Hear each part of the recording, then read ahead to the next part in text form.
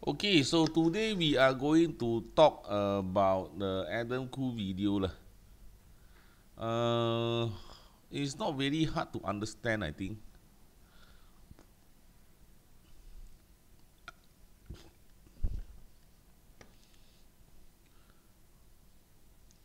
Well, I, I, I, think maybe his graph is a bit wrong though.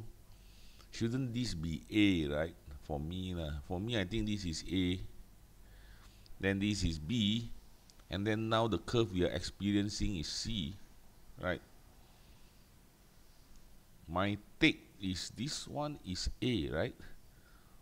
Doesn't really matter lah. it's a big of a difference. Shouldn't this be A right?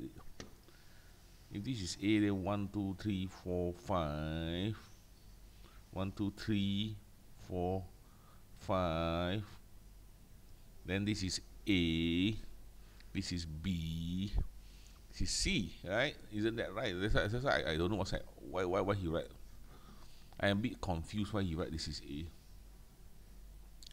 Okay, so how did he get this number? Well, usually the C, right, is a little bit higher lah than the uh, B, the the B, the B curve. Uh. I'm gonna draw it properly to tell you all about his logic lah. Okay, so this is the doodle. And this is the weekly chart. And then he says he took it from here right? Then A then B then C. Okay. How the oh my god. Uh, A B C. Right then the C huh, he just take here and he think that it's about 60 uh 61.8 uh, okay of the thing. 61.8 percent of the FIBO so you just pull a FIBO I don't know whether this thing works or not his method. I, I really don't know. Okay but he this is Elliott wave huh? uh, he used characteristics of Elliott wave. And of course if you do this kind of thing your Elliott wave must be correct lah. if your Elliott wave is wrong I think it's wrong. Okay. Uh, okay so he say is about uh,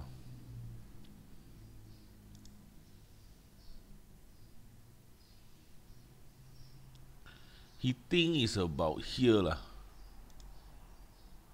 4920 he made this 61.8 a level the same as this lah so I'm just trying to recreate what he did and uh, give the logic lah for what he did it for now, what do I think? Uh, I I have no idea. I have no idea what he's doing. Honestly speaking, I cannot see the. I cannot see how I I I. I never seen people do this before lah, but this is quite advanced, I think. Right. So that means he's saying that the C curve, oh, is going to be uh, uh the range of it uh, is going to be roughly 61.8 uh. this one I have no idea uh, really. Okay. For me uh, I I don't really uh, use Elliott wave uh, I use the channels uh, theory more because the Elliott wave is sometimes very hard to see you know, the A B and C the one two three four five wow when it's happening, you don't know whether it's a it's a what kind of wave is it. You see, there are several guidelines uh, to help you. For example, number the third wave is usually the longest, right? So if I were to draw a Elliott wave, uh, this is one, this is two. The third wave is the longest, so I would say this is the third wave, okay? And this is the fourth, and the fifth could be here, right? Or could be here. Okay? Or it could be here. Okay? That's why ah it's a bit it's a bit confusing ah. one two three four five okay uh yeah, it's definitely a bit confusing lah, the the Elliott wave, and sometimes the shape doesn't really adhere to the Elliott shape lah. Okay, one, two, three, then four, then five, right? Then what's this? If this is five, at the end, this is what it, it should be five. Uh, usually it should be a five. Then this is A. Right?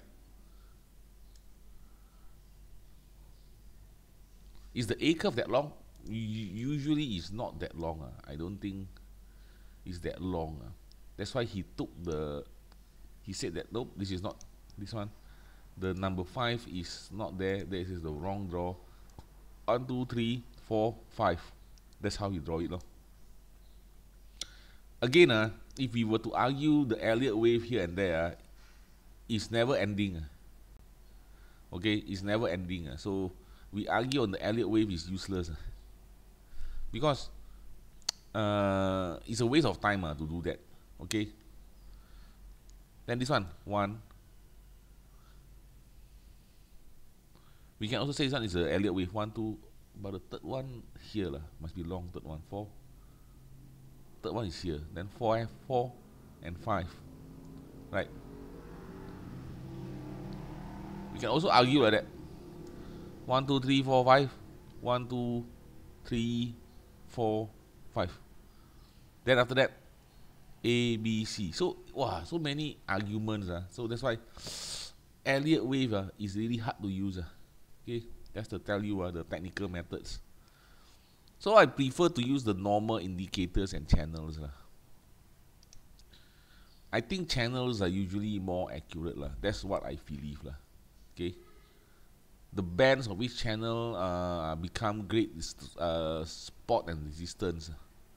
Okay, it's not that saying that they are cannot be breached. It's saying that they are harder to breach. Okay. Now, looking at the SPY like that, what do you notice about this?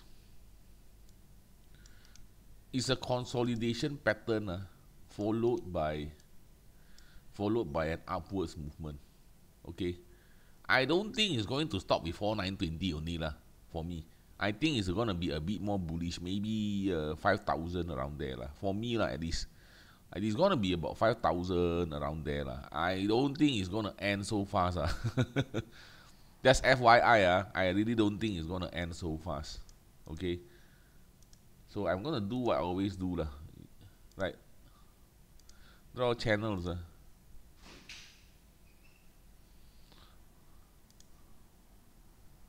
This is a bit too high, I think. This is probably the best channel I see. Uh, I'm gonna do what I do lah. So I'm drawing a channel and I want to see how this works lah. So I'm actually very bullish lah. Looking at this, uh, very very bullish lah. I would say. Okay. Uh, I think this one will go to at least about 5,000 uh, for me. 5,055. Roughly around here. Uh, 5,055. 5,058. Okay. Uh, then maybe February it will start going down. So Tom Lee is quite accurate uh, now that I think about it. Yeah. But the correction he predicted is going to be starting from the 5,000 level. Eh. Right. So back to MT Pulse. Uh, MT Pulse, uh, thanks to him, uh, he uh, shared with us uh, uh, the Tom Lee prediction. Uh. One say that uh, February SPY is going to correct itself downwards. SPY is S&P 500. Uh. Sometimes I like to talk in terms of ETF. But he also said Hang, Hang Seng, uh, Hang Seng uh, uh, is going to go up uh, this February. Uh, is it possible or not? Yeah, I think it's possible. Okay. Back to MT Pulse, uh, that one. Because the, I think the Chinese uh, Hang Seng and that one, they are massively oversold already. I think it's very rare lah. They are very cheap lah. Very, very, very, very, very rare. Okay. And if you say it's a I would say this is one of those meta moments lah, later in life, okay, where it Oh yeah, yeah, bentar. Where it's still possible uh, for the Chinese market to drop another 10 to 20%. So, what is the moral of the story? Moral of the story is cheaper can get much cheaper lah. It's not an excuse for you to start gambling lah. For me, I think I, I, I don't believe in gambling. I think if you set the margin, uh, I, I think that is gambling really lah. For me, that is a no-no, a huge no-no. Okay, I'm sorry, but for me, that's a super huge no-no. Okay. I think in the first place, uh, the best risk management uh, actually comes from the mental side, your attitude and your mental side. Okay. Uh, basically this one is cheap. For example, you talk about the Chinese HST, Hang Seng uh, Tech Index. Right. For me, I think it's very cheap. But it doesn't mean it cannot go down even more. It cannot go down 20% more. It cannot go down 30% more. It cannot go down 40% more. Yeah. And that's it for today. Lah. Uh, my the personal instructor, my wife call always here. Uh, she always okay. That's it for today.